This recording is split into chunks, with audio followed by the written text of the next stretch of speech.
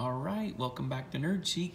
We're gonna do a little bit of a walkthrough of starting starting up a starting starting up a Nintendo Switch. This is the newest version that's out there, and so we've already charged it. We're gonna pull it right out of here and look at this. You see how it says all that stuff right there, and then you're getting that glare. Isn't that beautiful? Here we go. Okay, let's see if we can do this right. We're gonna choose English, and it's gonna be the Americas. Oh wow. We're gonna go ahead and accept that. I'm not gonna view it, tell no one. it's searching for networks. We probably need to put our little things in there. Look at this, it's got here, boom, boom, boom. We're gonna use that one for right now. Oh, it's got cute music for it. Isn't that nice? Boom, boom. We're successfully on, yay. Love it. Time zone is none of those. We're gonna go towards, let's see.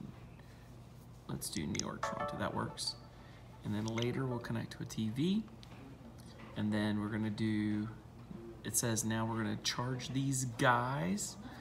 So use the left stick click next press. Right now for this next part we're gonna need the two controllers and this joy controller says use this one and select next. So you can do it. Look at that. It's pretty cool. So I'm gonna click next.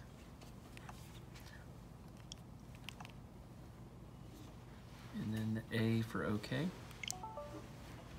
and then it says you can use the console Joy-Con controllers attached or detached, and there's a thing. This is fun. And then okay. Oh, I didn't know about the kickstand. That's neat.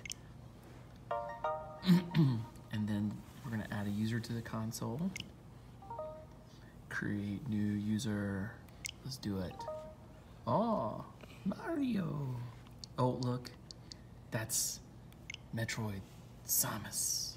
Okay, nickname for this user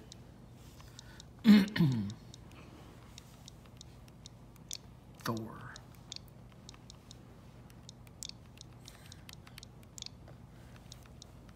Thor's stone.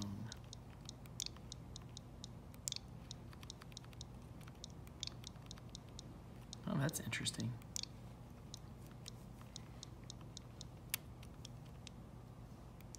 Boom.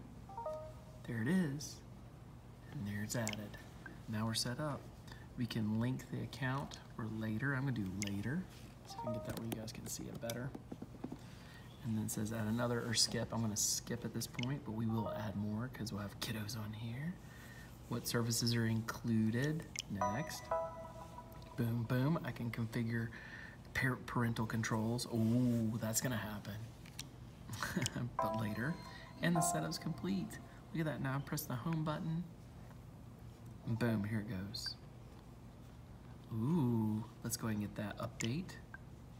And look, it's downloading the update. Boom, that's fast. Don't touch any buttons. Oh, I'm tempted to touch buttons. Click, click, click, click, click. I'm not doing it. I want to do it. I'm not gonna do it. It says do not touch. Oh, goodness, boom, I didn't do it. 99%. And now you're getting to see Lydia's face. Ooh, I felt it. Ah. Now it's updating the controllers, and so it's actually doing all of this right now.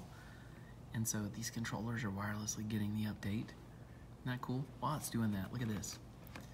This goes right here, and you can actually have the controller hooked up together. Isn't that cool? It's got the band on it. So you got two controllers. Ooh, that one just buzzed on me. Or you can hook it up on the sides. In just a second, I'll hook these on here so you see it. So it's still doing that. I'm gonna click pause for a minute while it does it. All right, we're back to finish. It says update complete, so A to go through, and then boom, that should be it. We can insert a game card or download software from Nintendo eShop. Look at that. And we've started and it's set up.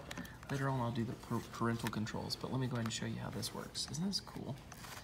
It's neat how this click, this click. And that's it, guys. All right, be sure to subscribe to our channel. Boom.